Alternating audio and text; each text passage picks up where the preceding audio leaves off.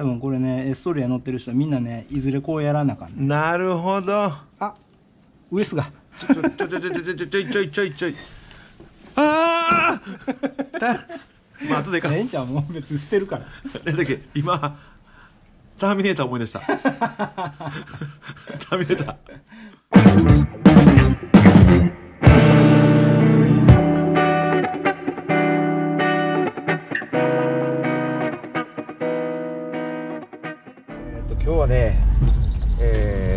えー軽トラに乗ってえーっとね前にあのエストレアをレストアしてた友達ね。まあレレストレアですね。レストレア。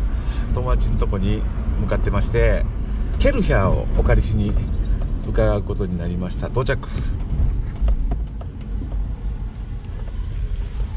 失礼します。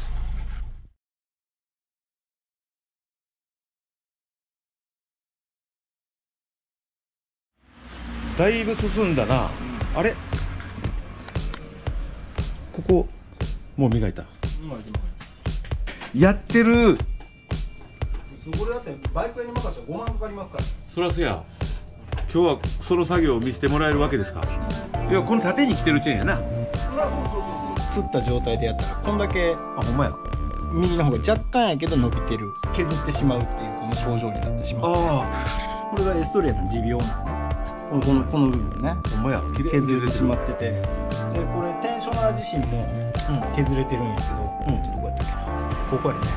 これ、はいはいはい。テンショナー削テンショナー削れるだけやったらいいねんけど本体まで削ってしまうからこれずっと置いといたらネジ穴までいってしまう。これがなんかんって思うのが2001年モデルやねんけど、2000年からは対策されてないから削れにくくはなってるって聞いてるけれどもうん。今回蓋開けてみたら2001年やのに削れてたでちょっと今回新しい伸びにくくなったやつをちょっと組み込んでいくんやけれども。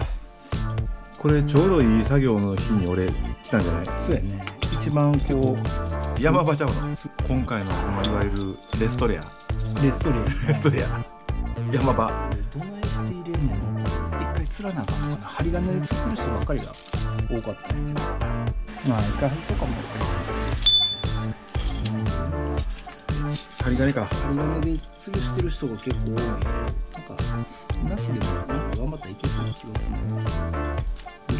引っかかりうっすこれ薄いな。お辞儀せなあかんやろ最後。そこでお辞儀。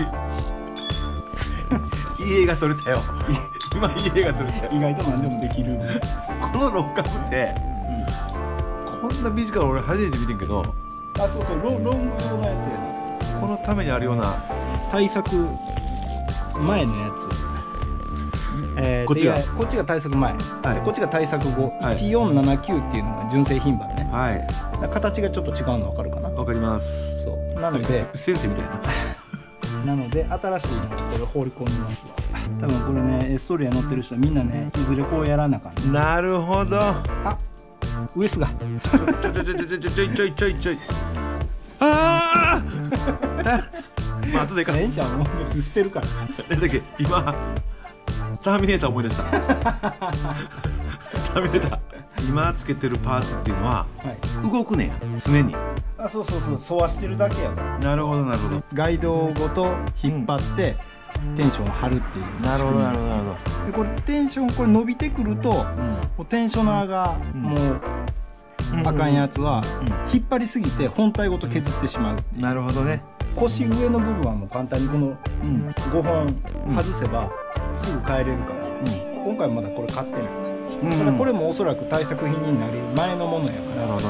このままずっと3万キロでも乗り続けてたら同じようにまた削ってしまう、うん。なのでこれもいずれ変えるつもり。だけれども、今回予算の都合で腰下の部分のパーツしか出てない、こっちは対策品になってないから、えー、とこのまま特に問題ない。これ使って。対策品になってるこれと,、えー、とチェーン。それとこいつを本来は変えなあかん。けど、うん今回はこれ置いとき川崎のメカの人の説明聞いてるような気持ちになりました。だいぶ勉強したもんね。勉強したね。皮だけやって買ってきた。皮だけ。そうあんこが足らん部分はあんこ足してで皮剥ぐで防水用の打ちタカを持ってる。すごいね。やっぱスターターモーター。で、えーギア回して、エンジンのこうピストンの上視点下視点で、まあクランキングさせてスタートさせるはい。にギアのはジェネレーターいはいよ。生きてますか？いけると思う。だからもうほんまにもっとボロボロの状態でもいいぐらいだからまだマシっちゃマシ男やせやねやるもっともってもよかったっていうそう一言でゾクッとした俺これがねなんかねよくわかんないあのネットではグミみたいなやつグミあほんまや多分バランスのやつやと思うんですけど、でこれをつけるのにグミがポロポロ落ちよるということででしかもこれを落とさへんようにしながら、うんえー、とここにマークがついてるの分かります？わかる。このマークとこのここのマークこれうん。合わせてあげへんかったらうん。あかんらしくは大変らしいですよ。このギアの位置を合わせてあげなきゃいけないって、あうん。あほらググミがポロポロ落ちる。これだけでこれこのポロポロ落ちるグミをうん。食べ食べてもったら？わもうせや食べられへんねんこれ すぐポロポロ落ちるんですでこの状態でどうやって入れんねんっていうのをネットでねうん。書いてやってんけど、よう読んでない。よう読めよ。点々どこっていう話やなまず。点々がねここやねここということはこ大体大体でやらな難しい。ちょっと待って待って。絶対そもそも合わんわ。せやねんあここに点が合わんねやろ。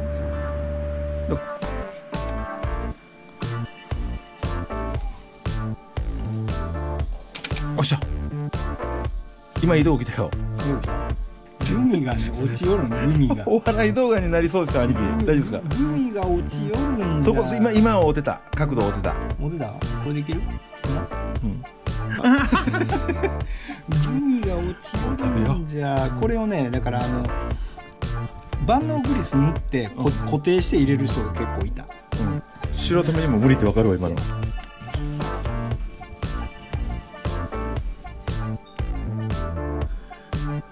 けすぎた。じゃあ兄貴ちょっえ？と一回全部外しましょうこれ。大丈夫しょうか。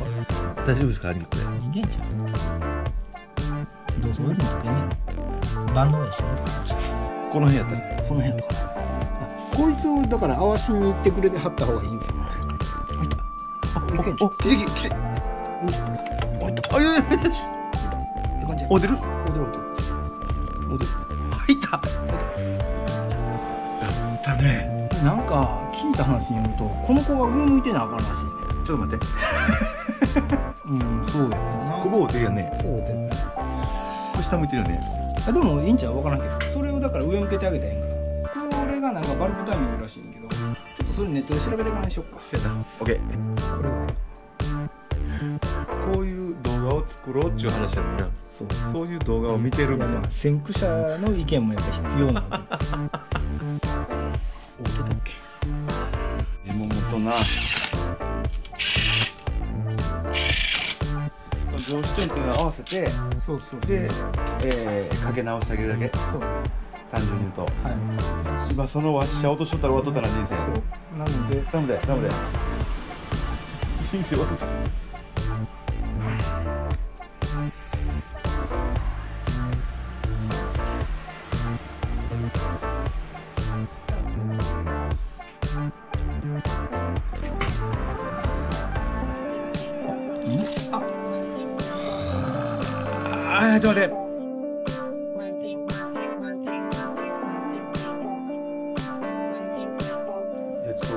心するってねほエンジンかけて one two まだ確認することできひん段階で、このな対策品は変えなあかんってなうん。その思ったところがすごいと思ってる自分で調べたらこれが悪いんちゃうかってなった。テンショナーはもともとあったなるほどそれ変えたやつにそのの隙間ができるってことはあんだけのチェーンの緩みだけでここまで隙間ができるだから前の人はいかにノーメンテで乗ってたかってなるほど整備士やそう整備士ねここんだけ普通これが正常なんですよクリアランスはこれが削れるぐらいまでいってたっていうのは今日の目標のとこまで来たんかなこれこれで君や上がったんで今日は蓋して終わりまたポロってやる。やめてやってなるから。あってなるから。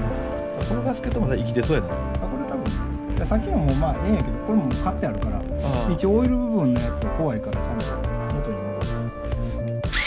早っちゃんとガスケット潰す。のか確認開けたないから。できるすごいな。やったねここまでやだ分からん分からん。そんな場所、まあこれ今日のところはここまでで。今何割ぐらい来た半分ぐらいかなゴールデンウィークまでちょっと期待してるわ。